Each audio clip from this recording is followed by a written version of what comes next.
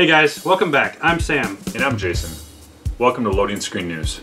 And today we're going to talk about Apex Legends. It came out about a month ago and it just, it really, I mean, it, it took the video game world by storm.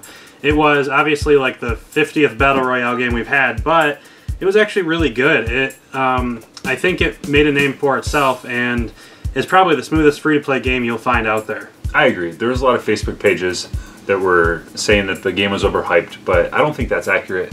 I just think it's become really popular. Um, we only heard a couple days prior that it was being released. Uh, download it, just see what it was. I assumed it'd just be another battle royale, and uh, when we started playing, it plays really smooth.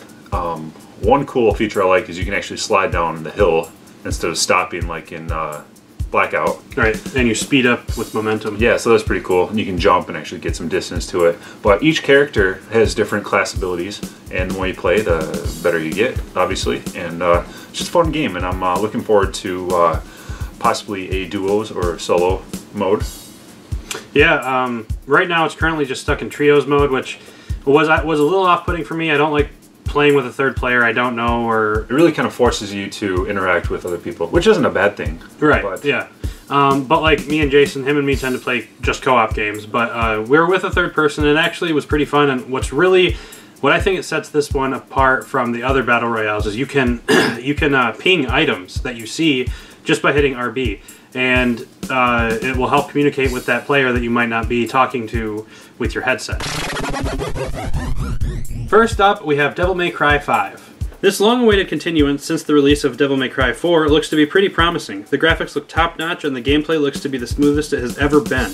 DMC 5 hits shelves Friday, March 8th. Not long after that, we have The Sinking City. This is an adventure mystery horror game taking place in the famed H.P. Lovecraft world of Cthulhu.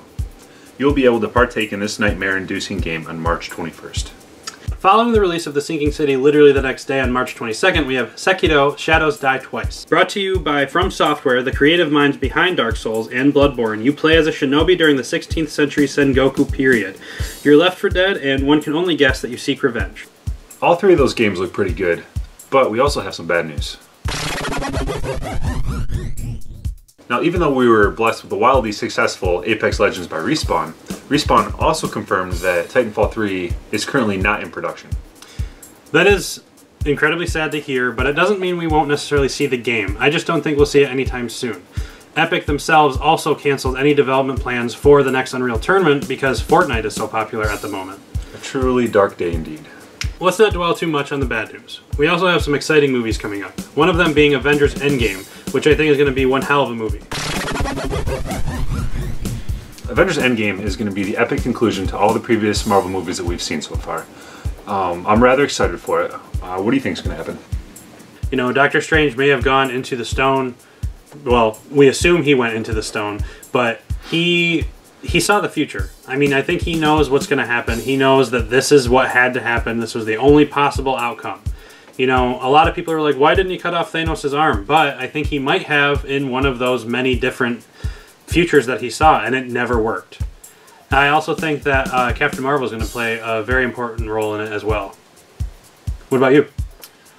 I agree with you. Um, I think Captain Marvel is going to have a pivotal role, um, but we also have Ant Man in the quantum realm, so we're not really sure what's going to happen with him yet.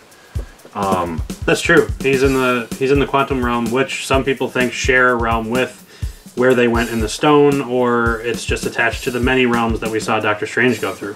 Right.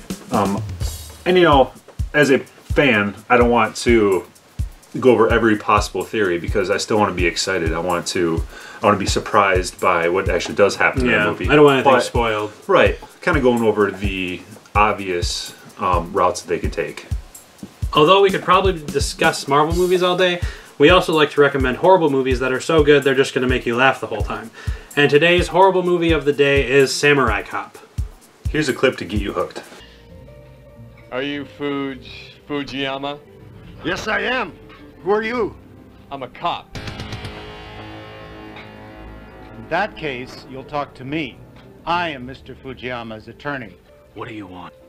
So you're the infamous boss of this shit katana gang, huh?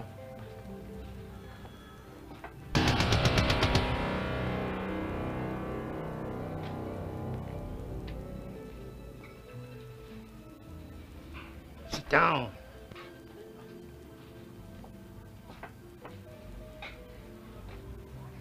Look, officer, you have no right insulting my client. You have nothing on him. and yes, we have. We have many things on him. And this client of yours is going to need more than a lawyer to clean up his shit. Officers, if you have anything against me, then book me. Otherwise, as they say, get the hell out of my face. This is America, land of freedom and law. A man is innocent until he's proven guilty.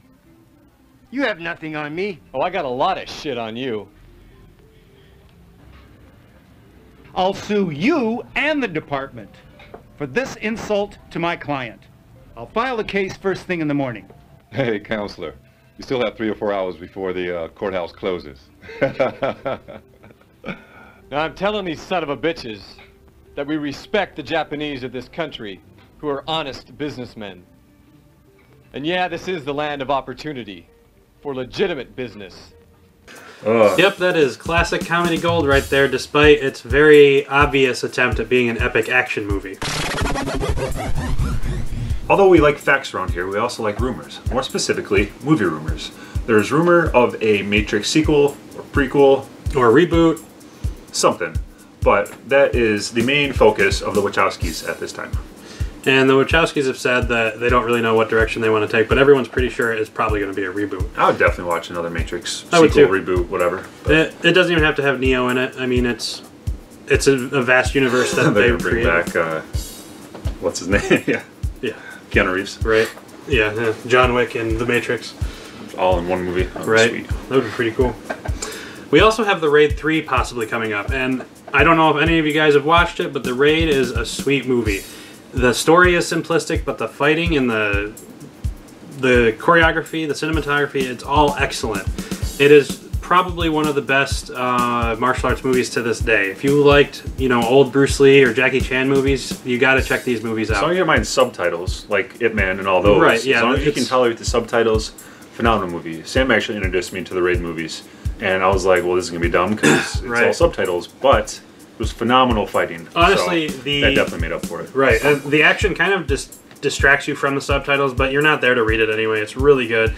Let's just hope Raid Three actually happens. I hope it does. Another movie on the rumored list is a 300 movie. Uh, not really a sequel, but it looks like it's going to take place in the 300 era. So another historic battle.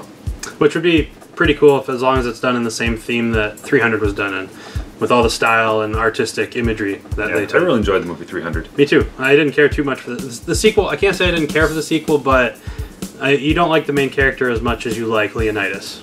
Right, and that's probably the only time Gerard Butler was in that good a shape. So Well, yeah. I mean, with how hard he had to work, I don't really Right. blame him for giving up. Oh! to start the 300 workout. So right. Yeah. PC Gaming has had some great releases lately. We have Anthem, Metro Exodus, Resident Evil 2, Apex Legends, and many more. A lot of those titles are available on the consoles, but one advantage I would say the PC has are its vast library of indie titles. And the library is so huge that I think everybody would be able, to find at least one game they would enjoy playing on the computer. I like all the systems. I like PC. I don't care about the PC Master Race bullshit, but overall, I think that uh, each system and the PC have something that they can offer you. I agree. Um, I think one of the best things about PC gaming is as long as you have a superior rig, you know, with high quality uh, components, is really pushing your graphics to the next level. That's true, but the only disadvantage is if you don't have the rig you need to do that, you have to buy either a good video card, good processor, or uh, a lot of RAM. PC gaming can definitely take you down the rabbit hole because once you start upgrading, it never ends. Because as the titles get better and the graphics get superior, you have to keep upgrading, and um, you can spend a lot of money on your PC. Whereas if you play console, then you're just buying that next generation console, which you know you're probably looking three, four, five hundred dollars at the most, and you know that any game that comes out for that console is going to be compatible with your system. But with PC gaming, you're always going to have to look at your system recommendations and make sure that your PC is compatible with that game. So I guess that's one downfall from it. But every PC gamer knows about this, so such is life. Yeah, who are we to talk? In order to do this, though, you really need to be able to find the right video card for you. Um, right now, though, that can get really pricey. The uh, currently the RTX Titan is two thousand five hundred dollars, but there are some cheaper options out there. Do you have any recommendations? Well, I currently um, got a new build, uh, actually by uh, Maingear. Um, I wanted to do my own build, but I have an obscene amount of static in my house, and my fear was that I would not be able to static proof, and I would end up getting the components, and I would end, actually end up damaging them, right, the ruining static. it, yeah, which So- would cost you more money. Right. So I end up going through Maingear. Um, I basically picked the components that I wanted for the build, and uh, I actually end up going with the RTX 2060. Um, did a lot of research, and um, you could easily have gone with uh, GTX version. Um, the 1070 is currently we're, we're phasing out the 1070. Um, the 1080 and the 1080 Ti's are still uh, fairly superior. A lot of people are still running. So if you have a card like that, there's really no reason to upgrade. But um, the 2060 is running about $350 right now. If you want to go to the 2070, you're probably looking at like six to $700. And then if you go beyond that to the 2080, 2080 Ti upwards, you're looking Yeah, at everything Yeah, you're looking like nine, from there, 1200 right. and then up to, like you said, the, the Titans running $2,500. The PC offers a lot of freedom for customizability. You just you want to take precautions because if you bought a video card and you didn't you don't you don't upgrade your power supply, you could burn your computer out. Then you're out that much money. Yeah, or if your motherboard doesn't support your really expensive video card or the CPU, like I said. So uh, if you don't personally have the knowledge to do it, like I said, internet research is so important with this because the information's out there. You just have to spend Right. a little bit of time looking, and uh, should be able to find the answers you're looking for. Uh, Facebook forums. I joined a lot of pages on Facebook, and there's so many people um, just ask questions and usually get answers immediately. A lot of sarcasm too, but most are pretty helpful. Yeah, um, you're gonna find some people that talk to you like you are a child. You're an idiot. You know, it's like when you take your car to the mechanic and you don't know anything. The mechanic usually talks down to you. So expect that. But um, you know, you're gonna learn along the way, and eventually you'll be able to just build your own PC based on the knowledge you have learned from past interactions. As you can see, we have a lot to look forward to in the future when it comes to movies and video games. As with the video cards, we just wanted to share some of the things that we like about it. We're in no way experts, so if you break your computer, don't blame us. Uh, you know, What have I done? we just like to thank you guys for watching. If you like this video, please hit like and subscribe, and we hope to see you next time.